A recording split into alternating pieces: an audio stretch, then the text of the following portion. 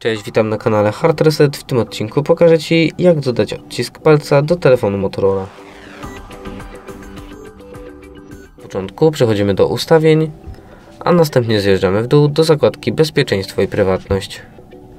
Następnie wybieramy opcję odblokowywania urządzenia oraz odcisk palca. Jeżeli nie mamy założonego hasła telefonu, musimy go teraz ustawić. Ustawiamy hasło, a następnie je potwierdzamy i zaczynamy odblokowywanie, skanowanie palca na czytniku.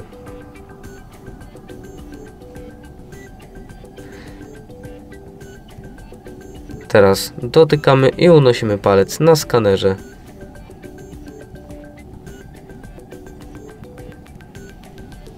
Możemy dodać następny odcisk palca lub naciskamy gotowe.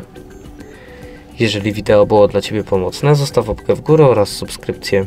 Z mojej strony to tyle. Ja się żegnam. Cześć.